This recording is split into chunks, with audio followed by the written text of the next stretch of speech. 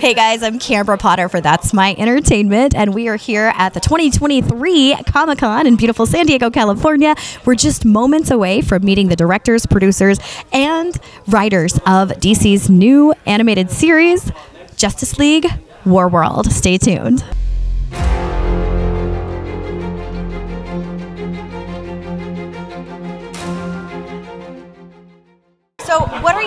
Excited for fans to? Is there a certain scene or certain one of the multiverses that you're most excited for the reactions of fans?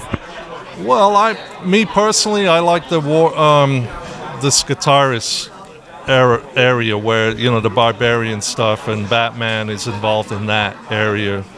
So that's my personal favorite. As far as the fans, they might like the Clark Kent in the 50s uh, black and white universe, you know, UFO hunting.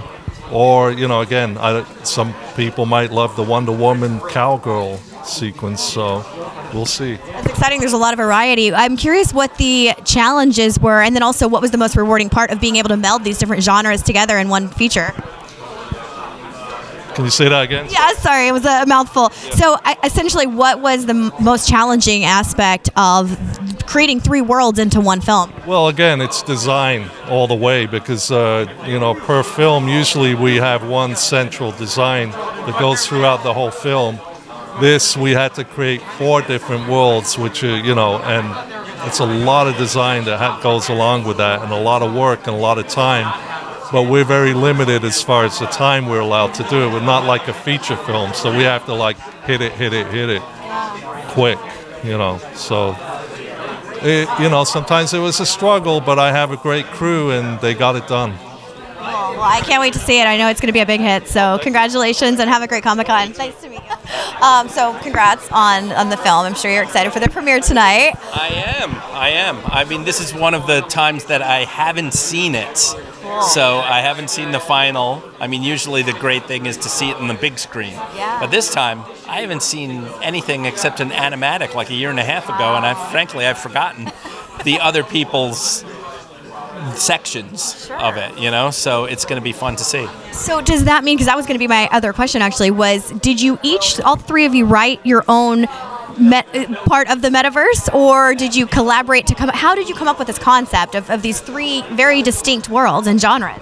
Well, so Jim Krieg wanted to do uh, a War World story, but usually they center around gladiatorial combat. And he's like, I want to do something different where they're stuck and they don't know who they are, but it's in this kind of hologram simulation with amnesia. And through their efforts in fighting, them and thousands of other heroes are what's powering War World. So then we kind of pitched of, all right, since they don't remember who they are, where are we going to put them that they won't remember who they are, right? So it's like someplace far away. That's why Batman is like kind of a Conan-esque character, and Superman is is, is a lawman in the 50s, and Wonder Woman she's in the Old West.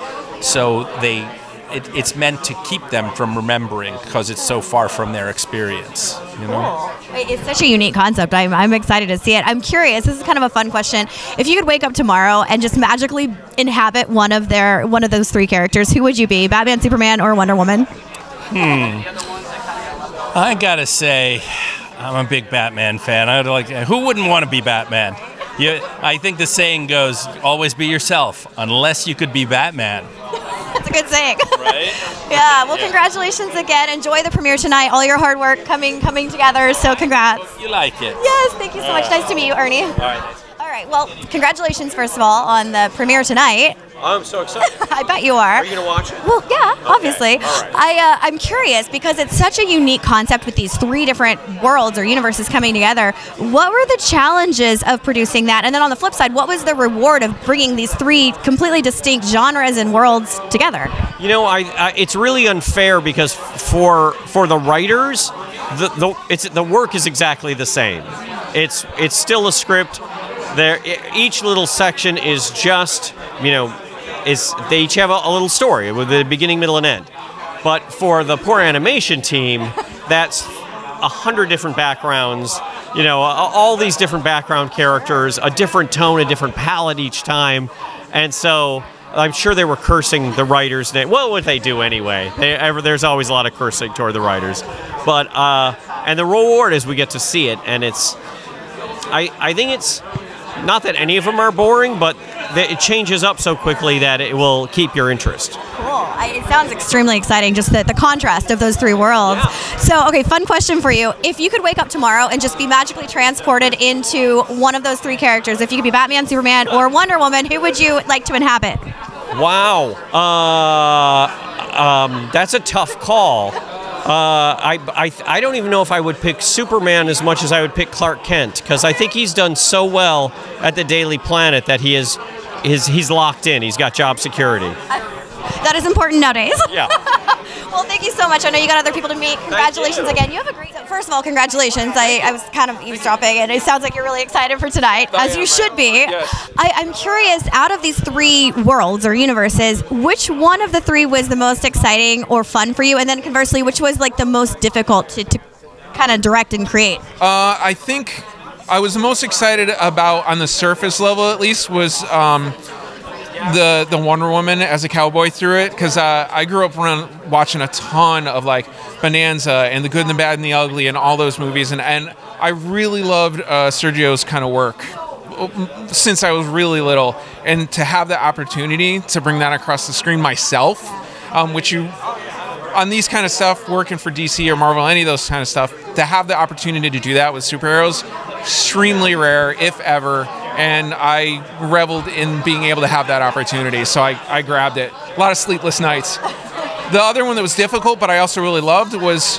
the film noir one, um, or kind of a Twilight Zone. So making the characters seem nervous and cutting around and playing with the cutting and stuff. Me and the board artists had such a blast making the audience feel that way and playing with the angles of the camera until we're like everyone's in a frenzy.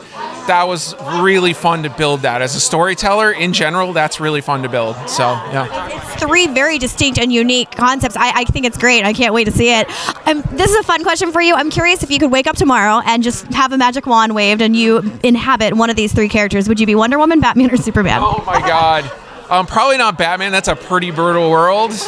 Uh, it'd probably be between Wonder Woman and, and, and Superman in the in the, the third story. I, I wouldn't want to live in the Conan. It's fun to watch, but not not fun to live there. Understandable, Yeah. for sure. I, I just I think that's such a fun question. So yeah, well, have a great con. Congratulations on the premiere tonight. So uh, I know we don't have a lot of time here. I'm, I'm being told that I only get one question, unfortunately. Okay, okay. Well, first of all, congratulations on the premiere tonight. I'm sure you're excited. Always. I am curious about your writing process. Like with the three of you, did you all kind of collaborate on the concept together? Did each of you pr- pitch a different story? Uh, you know, a world. How did that work?